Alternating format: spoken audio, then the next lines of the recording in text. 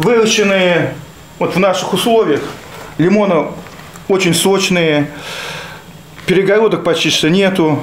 Кожица тоже мягкая, это такая пикантная, его можно есть с кожурой.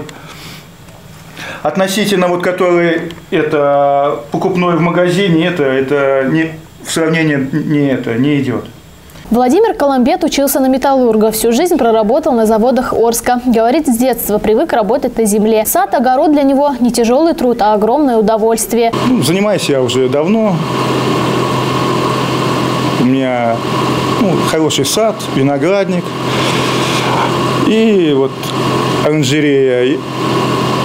То, что, может, я родился на Украине, потом работал в Чемкенте, служил в Грузии.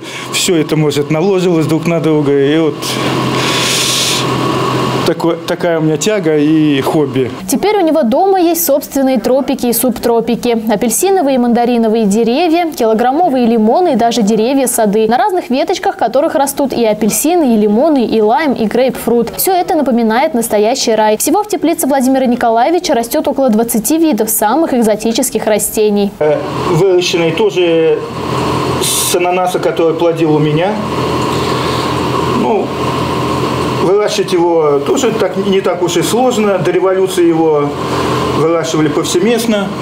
Это выращивали монахи, говорят, и так вот люди и у Маяковского он был в стихах «Ешь ананасы, рябчики и жуй». Это был не, в то время не диковинный плод. А вот это экзотическое растение под названием а, гуава, которое растет в основном в азиатских странах. И к тому же а, на прилавках в магазинах России его практически невозможно найти.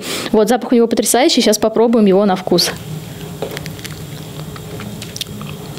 Он чем-то Хурму напоминает, язык вяжет немножко. Чтобы приспособить экзотические растения к нашему климату и сделать так, чтобы они давали отличные плоды круглый год, Владимир Николаевич перевоплотился в конструктора-новатора и создал теплицу, которая работает как кондиционер и как термос. За счет вот этого воздухообмена идет выравнивание температуры в теплице. Например, это днем за счет солнца земля нагревается, а ночью за счет земли уже идет прокачка опять воздуха, греется атмосфера теплицы. И до минус 10 можно обходиться без отопления. Есть здесь и вовсе экзотические миниатюрные деревья. Например, мурая, история которого окутана тайнами и легендами. Это растение во времена средневековых японских императоров охраняли так же, как наследников престола. А все потому, что из листьев, цветков и плодов готовили эликсир жизни. Считалось, что даже вдыхание аромата мураи делает человека здоровым здоровым, красивым и умным. Его еще называют дерево китайских императоров.